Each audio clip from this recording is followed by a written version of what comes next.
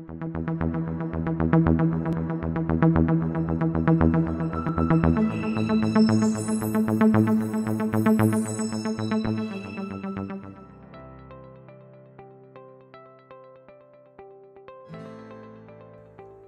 order to take a collection, you must first properly sanitize your hands, put on gloves, a mask, a face shield, and your lab coat.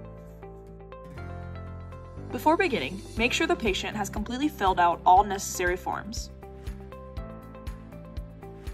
To start, carefully open your swab.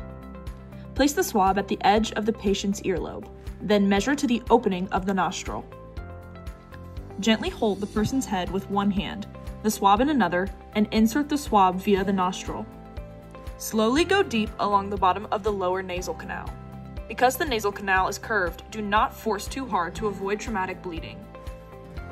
Once the tip of the swab reaches the posterior wall of the cavity, rotate gently once and let sit in the cavity for about 10 seconds.